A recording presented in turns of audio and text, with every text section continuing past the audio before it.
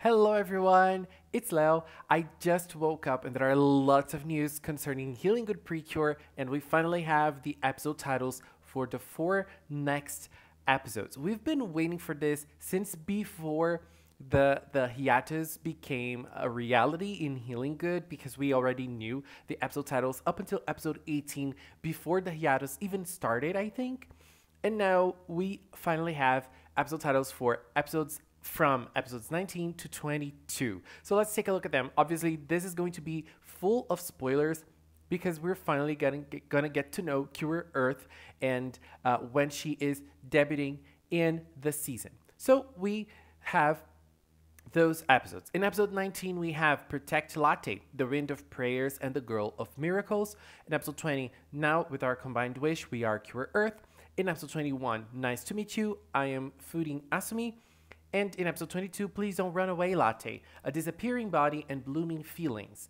So, based on those episode titles and the magazine scans that we've all, already seen, let's try to guess what is going to happen in those next few episodes. So, episode 19 is Protect Latte, The Wind of Prayers, and The Girl of Miracles. So, uh, taking a look at some past magazine scans, let's go back to this one. In this magazine scan, we can see the girls fighting against Batetemoda. It's a regular monster. It's just a regular Mega Byogen. But they, uh, they all get captured in this fight, as we can see here. Uh, Cure Grace gets captured and the other two also get captured. And Latte, for the first time, tries to fight back against the monster. She bites the monster and she gets unfortunately thrown away. We all know Latte isn't the very physical type. She has no powers, at least for now. And we also see Teatinu praying for the statue for a miracle. And yes, a miracle actually happens because we see here a gust of wind blowing Batetemoda away and Cure Earth saving Latte. Cure Earth is going to save her and um, Cure Earth is going to also save the girls. But it's not only that, like she saves the girls and the girls are able to perform their attack and destroy the monster by themselves. So this is how we're going to meet her for the first time. What really makes me think about this is the fact that in Healing Good, at least so far from what we know, the girls need their partners to transform, right? And Cure Earth's partner is Latte. So, how is she going to appear saving Latte for the first time while, you know, it's a miracle, right? So, how is she going to appear as Earth for the first time without using Latte?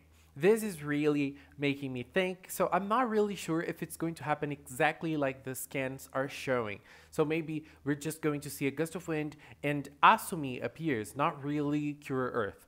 Or maybe she will transform, uh, she will use the nature's power to become Cure Earth for once. And then for the next times, she is going to have to fuse with Latte to become Cure Earth. Not fuse because they're not fusing uh, as the others, but um, you know, using Latte's power to become Cure Earth. So I'm not really sure if this is how it's going to happen, but I think that's more or less what we're going to see in episode 19. And then in episode 20, we have now with our combined wish, we are Cure Earth. So this is when I believe they're both going to get together and become Cure Earth. Uh, and then we're going to see Cure Earth's transformation for the first time. And uh, we're also going to see uh, Cure Earth, uh, Cure Earth's attack because we're not going to see that when she saves the girls, as we can see here. Uh, she will just appear, she will just free the girls, she will just save Latte, and the girls are going to defeat the monster by themselves with the Healing Oasis attack. So I believe that we're going to see her transformation and attack in episode 20, but we're going to have our first glimpse as um, from her in episode 19. And so in episode 21, we have Nice to meet you. I am Fuurin Asumi. So if we take a look back at some other scans that we saw, uh, more or less at the same time as this, we see that she appears to the girls and she introduces herself as a spirit and she doesn't really have a name, right? She we just know she's a spirit. We just know she just appeared and just materialized herself because of Teatinu's prayers. So she's not really a human being and she doesn't really have a human name. What we know is that Nodoka is the one that's going to give the name to her. There is a scan about that, but I don't remember where. I don't think I put it here. But anyways, we know that Nodoka is the one that is going to give her a human name when she appears to them and when they start talking about uh, like where she lives and she says earth is my home and things like that you know like the whole planet is my house i mean it makes a lot of sense if you think about it and uh, that's more or less what I think is going to happen. I think this scan is probably from uh, episode 20 when she is going to become Cure Earth for the first time. And uh, probably the group pose in episode 21. I'm not really sure. And in this uh, this lower scan here, we can see Earth going against um, So I believe that we're going to have kind of like a rivalry in the villain side we have Daruizen rivaling Grace, Shindoine rivaling Fontaine, Guairu rivaling Sparkle, and last but not least, Batetemoda rivaling Earth. So I think that we're not going to see the villains side changing that much. They're probably going to stay the same up until the end of the season because I think that it, we're going to kind of have this rivalry.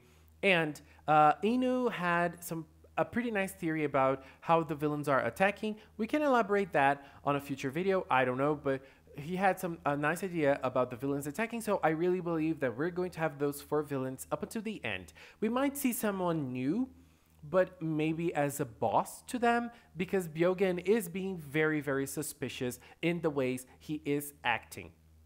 So uh, she is going to transform in episode 20, where we see here, and in episode 21, she is going to be introduced as Asumi. Nice to meet you. I'm Fuurin Asumi, and in this episode, she's probably going to start bonding with the girls. And I think that's when, or maybe this is the last scene of episode 20, and she's introducing herself. And then in episode 21, we start learning more about who she is and what she is trying to do and everything. But the fact is, she doesn't have a name, and Probably in episode 21, that's when Nodoka will give her a human name, which is going to be Asumi. We still don't know where she takes that name from. Maybe it's the same name of the past girl who fought alongside Teatinu, or maybe this is just a name that came out of Nodoka's mind. We still don't know. The fact is, I'm very curious to learn uh, about this name, and I'm curious to see if Nodoka has some sort of ideas. So in this episode, we're probably gonna see how Asumi is. Like she has no idea about the human world, and she's gonna try to learn more about it. The girls are helping her here, and she's probably gonna try some new styles as well, as we've seen in some scans. This is going to be very, very nice. And this is probably when she is going to get her style, her green dress, and everything. And in episode 22, we have the first falling with Latte. We have Please Don't Run Away Latte, a disappearing body, and blooming feelings. So, as we saw, Asumi does not know anything about the human world and how humans act. For her, everything is nature, everything is earth, and her mission is to fight the Byogens. So she's very focused on that. But Latte herself doesn't seem really doesn't really seem to be like that. I mean, Latte is probably going to be very happy that now that she, now that she is a healing animal and she has a partner and everything. So, I mean, she probably wants to live. So in this episode, she wants to go out with Asumi. She wants to enjoy uh, the world with Asumi, and Asumi does not want that. So this creates this little tension between them, and Latte wants to run away. Latte is probably going to be very frustrated at this. This is what happens. This is what makes Asumi start disappearing, and the girls are starting to freak out, knowing not knowing what to do with this situation. So I think that this is when this tension, this tension, this tension happens, and they're probably uh, gonna get together, and Shindoine will attack, and then they're going to get back, and then Cure Earth will appear again, and they will fight against this monster and win, and they're going to be happy again. And uh, this is probably a turning point for Asumi uh, for from when she is starting to understand more about humans and what humans do and things like that. and she is probably going to start uh, acting more as a human and trying to understand how humans think and how humans react. And her bond with Latte is going to get stronger and stronger.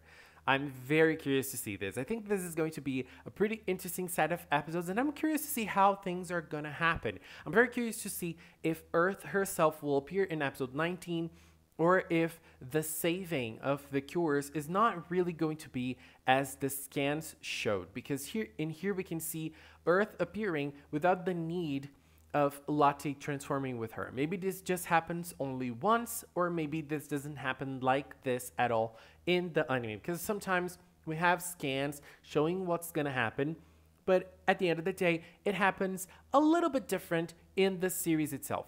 So those are the episode titles for episodes 19 to 22. Uh, everything I said here, some of the things are speculation, as in episode 19, and more or less what's going to happen in episodes 20, 21, and 22. But most of the things are things that are on the scans themselves, like the thing that's happening on episode 22 and everything. So, um, I'm I'm sure it's going to be very interesting, and I don't think we're going to have much plot on Asumi herself and her and the big storyline behind her. I think she's just going to be this earth spirit that was born from Teatinu's wish.